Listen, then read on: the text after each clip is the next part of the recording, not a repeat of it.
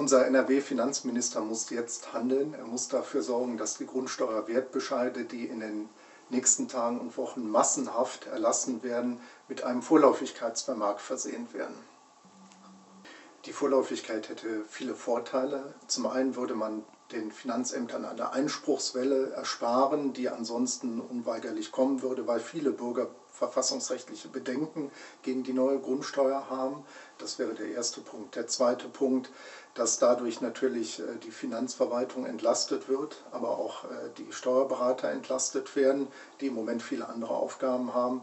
Und der dritte Punkt ist, dass eben auch alle Bürger die Rechtssicherheit bekämen, auch die, die jetzt äh, zunächst keinen Einspruch gegen die Grundsteuerwertbescheide erheben. Als bunter Steuerzahler bringen wir gemeinsam mit Haus und Grund verschiedene Musterverfahren gegen das sogenannte Bundesmodell bei der Grundsteuer auf den Weg.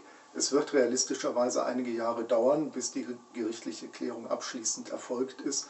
Und gerade deshalb wäre es eben so wichtig, dass die Bescheide jetzt vorläufig ergehen. Wir fordern das nicht alleine. Wir haben ganz starke Partner an unserer Seite, ein bemerkenswert breites Bündnis von der Deutschen Steuergewerkschaft Nordrhein-Westfalen über die drei Steuerberaterverbände in Nordrhein-Westfalen, den Haus- und Grundverband Nordrhein-Westfalen, den Verband Wohneigentum Nordrhein-Westfalen, also ein wirklich sehr breites Bündnis.